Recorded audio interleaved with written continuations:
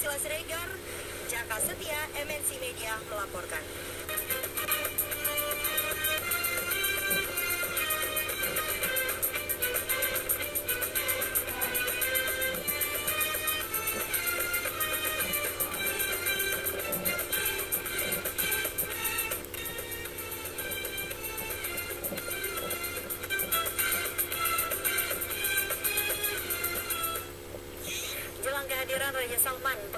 Masjid Istiqlal diperketat. Informasinya usai jeda.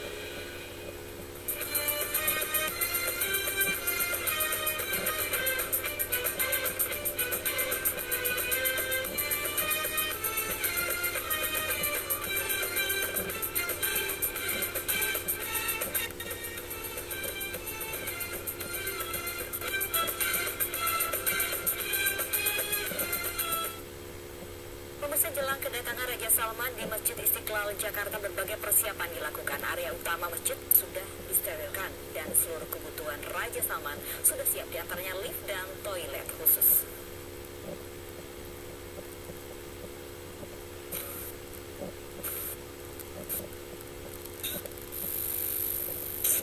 Kedatangan Raja Salman rencananya akan disambut oleh Menteri Agama Lukman Hakim Saifuddin, Imam Besar Masjid Istiqlal Najarudin Umar, dan Ketua Pengelola Masjid Istiqlal Muzamil Basyuni. Raja Salman nantinya akan masuk melalui pintu Al-Malik yang merupakan pintu khusus bagi tamu VVIP.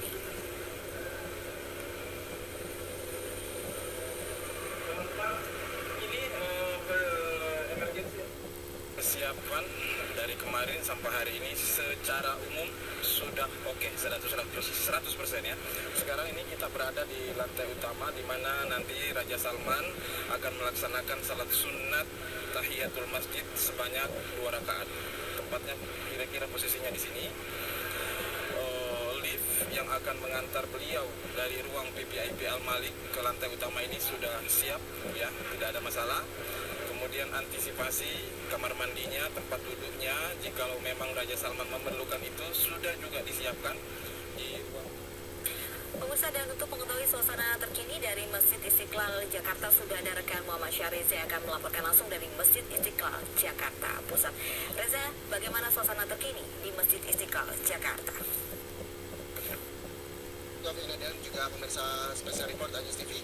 Benar sekali seperti yang tadi Informasikan Novi bahwa nantinya uh, sekitar pukul 13 lewat 45 waktu Indonesia Barat Raja Salman Abdul Aziz uh, Al Saud rencananya juga akan hadir di Masjid Istiqlal Jakarta Pusat dan akan disambut oleh Menteri Agama, Imam Besar Masjid Istiqlal dan juga Ketua Panitia dari Masjid Istiqlal sendiri. Kalau misalnya kita melihat di belakang saya di Masjid Al Fatah, salah satu pintu gerbang yang memang diperuntukkan untuk masyarakat banyak Diprediksikan sudah ada ratusan orang yang mengantri untuk masuk untuk menyaksikan Raja Salman dari lantai atas. Kita ketahui bahwa Masjid Istiqlal ini memiliki lima lantai yang memiliki filosofi arti di mana lima tersebut berpengaruh Islam. Sudah, serta ada 12 tiang yang memang berarti bahwa uh, 12 merupakan tanggal lahirnya Nabi Muhammad uh, Sallallahu Alaihi Wasallam 12 Rabiul Awal. Ini merupakan uh, sejarah atau filosofi dari Masjid Istiqlal sendiri hingga kini Masjid Istiqlal sudah ditutup sejak pukul 9.30 waktu Indonesia Barat. Ternyata banyak sekali masyarakat yang antusias Novi dan juga pemirsa spesial report atas kedatangan dari Raja Salman bin Abdul Aziz Al Saud.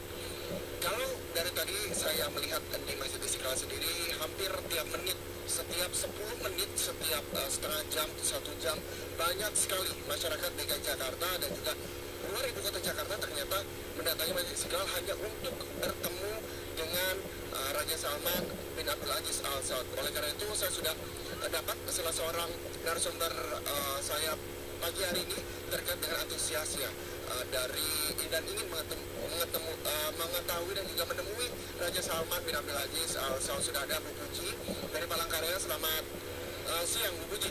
Bu Puji, ini uh, dari Palangkaraya jauh-jauh ke Jakarta. Kenapa sih antusias sekali untuk datang ke Masjid Istiqlal Jakarta? Terima kasih. Eh, saya memang dan memang antusias antusias ingin menemui beliau. Ini saya datang dari Palangkaraya. Kemarin saya berangkat dari uh, Palangkaraya itu jam 6.50 sampai Jakarta jam 8 lewat 15 menit itu dari bandara saya langsung meluncur ke Halim Perdana Kusuma memang khusus untuk bisa melihat beliau Raja Salman rajanya dunia lah gitu ya terus uh, ya kebetulan niatnya sih pengen ketemu tapi ternyata karena begitu banyak antusias juga pengen melihat.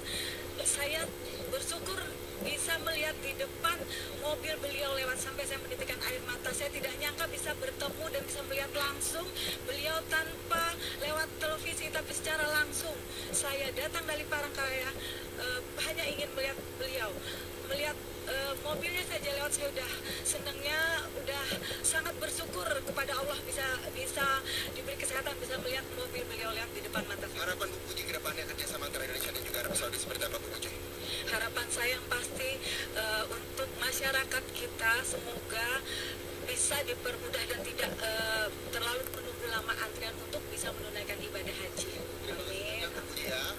Oke, dan pemirsa itu dia uh, salah satu antusias warga dari Palangkaraya dan juga ke Jakarta untuk hanya menemui Raja Salman dan sepertinya ini juga kita juga masih menunggu Lofi setengah 12 dan juga pemirsa Anjus siang kedatangan dari Raja Salman bin Abdul Aziz Al Saud yang diprediksi dari gedung DPR RI sekitar 13.45 tiba di Masjid Istiqlal Jakarta. Pengamanan juga masih uh, disiagakan pihak kepolisian dan juga uh, pihak keamanan dari panitia Masjid Istiqlal untuk mengatur masyarakat yang datang di Masjid Istiqlal Jakarta Pusat. Demikian informasi uh, dari Masjid Istiqlal Jakarta Pusat. Kini kita kembali ke studio. Terlebih dahulu silakan Lofi. Baik, terima kasih Muhammad Syarif yang melaporkan langsung dari Masjid Istiqlal Jakarta. Usai dari gedung MPR DPR Raja Salman bin Abdul Aziz bersama rombongan akan menuju Masjid Istiqlal. Adapun ruas jalan yang akan dilalui rombongan tamu negara Arab Saudi, di antaranya jalur Sudirman dan kendaraan Hotel Indonesia. Rombongan Raja Salman bin Abdul Aziz akan ke Masjid Istiqlal sekitar pukul 2 siang. Sejumlah ruas jalan protokol ibu kota diperkirakan akan dilalui rombongan VVIP seperti jalur Sudirman Tamrin dan kendaraan Hotel Indonesia. Pihak kepolisian rencananya akan memperlakukan jalur prioritas bagi rombongan seperti penutupan jalan steril area pada saat rombongan melintas, namun demi menjaga ketertiban lintas yang ini belum diberlakukan pengalihan arus dan masih berjalan normal. Raja Salman akan menuju Istiqlal bersama Presiden Republik Indonesia untuk melakukan kunjungan ke masjid terbesar se-Asia Tenggara dan sunnah.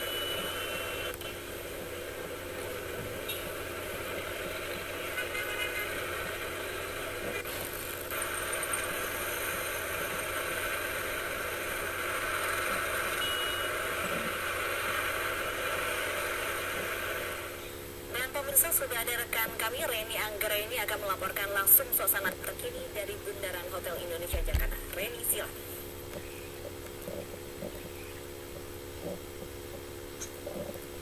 Reni bagaimana suasana terkini di Bundaran Hotel Indonesia siang ini? Silakan Reni dengan laporan Anda.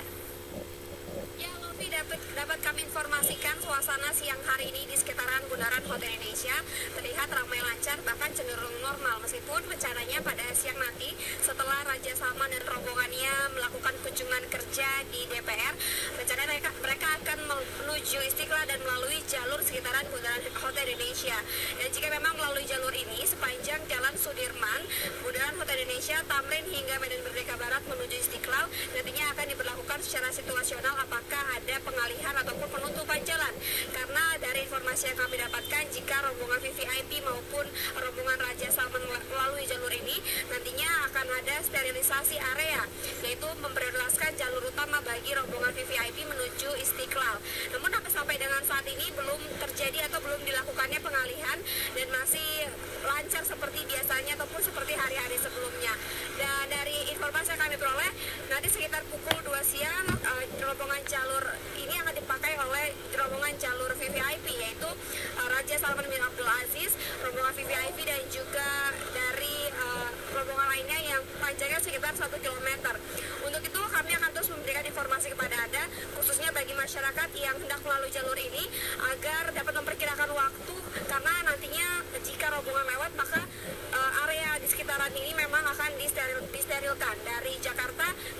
ada di studio. Baik, terima kasih Randy Angger yang melaporkan langsung dari Bundaran Hotel Indonesia, Jakarta. Perjanjian bilateral Arab Saudi dan Indonesia hasilkan 11 kesepakatan. Nanyi siang segera kembali.